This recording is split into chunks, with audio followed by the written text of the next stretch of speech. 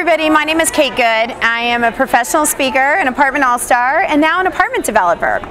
And this year, I have been noticing a big trend, a lot of stress with stabilized apartment communities, that they're competing with brand new apartment communities. I'm building some of those new apartment communities. And that stress is really coming from the idea that we feel old in the new construction world.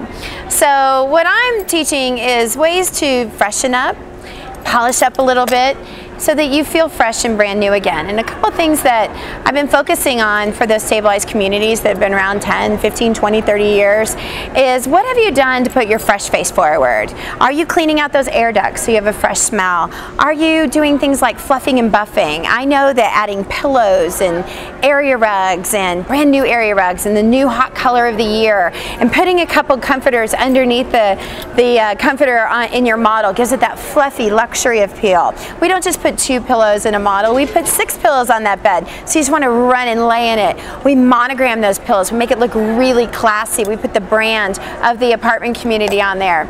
Another thing that we do is we give everything a fresh coat of paint from curbs to walls to accent walls, doors, make everything fresh and new.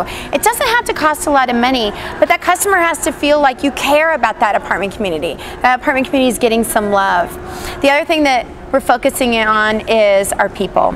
If you're a leasing consultant and you're working in a new apartment community, you're walking on air. You know you're leasing the coolest, newest property in the market. But if you're working at the one that's 20 years old, you may not feel that way. So I want our management teams to put some love into our teams. And that means changing what they're wearing, giving them a really trendy, fun, cool uniform that fits everyone, all sizes, but they truly feel proud to wear. Give them some new training, some motivation, uh, make them feel great about their jobs again. Create that environment where they want to win, they want to succeed. Just because they've been there for four years and they've always performed well for you doesn't mean that they're going to be able to perform in this new construction market.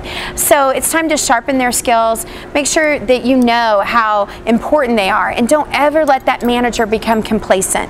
A manager that stays at a property too long doesn't understand the term disruption. And disruption means that when we get in and we change things and we shake it up a little bit, we're getting new attention from the consumer. We're getting attention from our team members. We're breathing new life into this community community.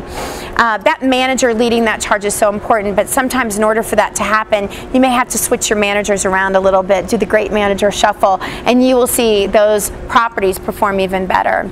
Those great managers are out there and they may have been performing well for you for the past five years of this community. If you move to another community, they're going to perform even better. And the one that comes into the one that they just left will take that one to the next level too, because that's that competitive nature that we have. And when you get into something that's new to you and you see it all for the first time, you're focused on improvement. And that's what we want those stabilized communities to do.